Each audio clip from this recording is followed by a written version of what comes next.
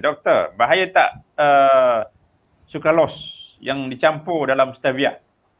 Sesungguhnya yang halal itu jelas dan yang haram itu juga jelas. Bagaimanapun di antara keduanya, terdapat perkara yang tidak jelas, ini yang syubhah, yang mana ramai orang yang tidak mengetahuinya.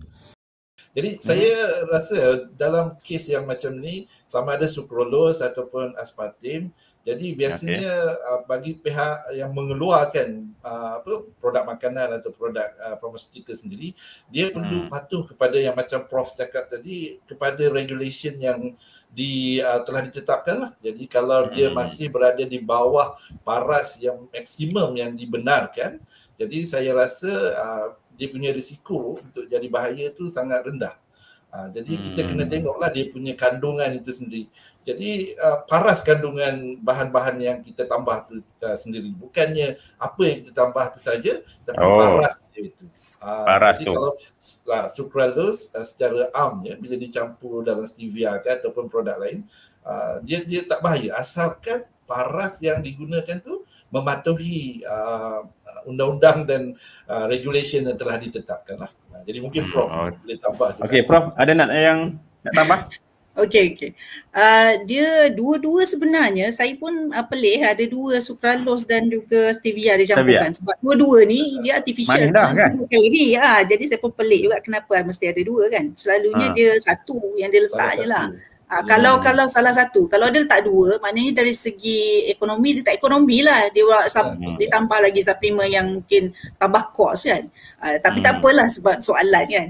Soalan okay. dia, uh, sebab dia dianggap uh, zero calorie, betul tu. Uh, saya agree dengan ni. Jadi sebab tu pelajar ke uh, sebenarnya dia kena tahu menyemak di uh, Uh, bahagian keselamatan dan kualiti makanan ya di bahagian KKM ni kalau anda buka hmm. website uh, type sahaja bahagian uh, keselamatan dan kesia- uh, kualiti makanan selepas tu hmm. klik bahagian perundangan lepas tu pergi ke akta makanan dan juga pergi juga kepada uh, peraturan-peraturan makanan 1985 dan jadual peraturan-peraturan yang itu yang pelajar okay, atau jap, jap, prof. prof.